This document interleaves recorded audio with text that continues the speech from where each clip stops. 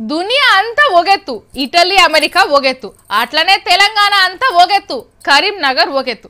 ఒక్కనాడే ఎనిమిది మందికి వైరస్ అంటిందని తేలే వరకు గజ్జున వణుకుతున్నారు అక్కడోళ్ళు. బయట దేశంకి వెళ్ళి వచ్చిన వాళ్ళు ఎవరెవరిని కలిసిండ్రో? అది ఎందరికీ అంటుకుందో అని మస్తు బుగులు పడుతుండ్రులా కరీంనగర్ లింక్ ఇంత గట్టిగానే పెట్టిండ్రు కర్ఫ్యూ. ఇండోనేషియాకి వెళ్ళి వచ్చిన వాళ్ళ తోనోగోలికి వైరస్ అంటే వరకు పట్నం మొత్తానికి తాళం వేసి పడేసిండ్రు. ఉప్పులు పప్పులు తెచ్చుకుంటానికి పబ్లిక్ను బయటికి రాణిస్తలేరు వచ్చిండ్రంటే బండ్లు సీజ్ చేస్తుండ్రు కేసులు పెడుతుండ్రు. ఎన్ని మాటలు చెప్పినా వినకుంటే ఓ మలక దంచుతుండ్రు కూడా. బయటి దేశపోళ్ళు తిరిగిన ఏరియాను రెడ్ జోన్ అని ప్రకటించిండ్రు.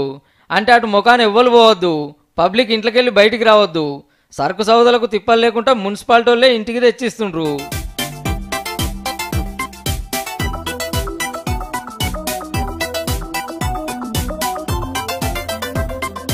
డాక్టర్లు నర్సులు ఇంటింటికి తిరుక్కుంటా పరీక్షలు చేస్తున్నారు.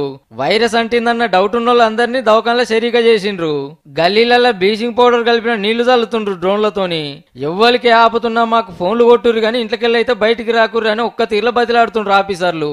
ఇంతగానని చెప్తున్నందుకైతే పబ్లికే జరంతా సోయి తెచ్చుకుంటే మంచిది. లేకుంటే నష్టం మీకే మళ్ళా.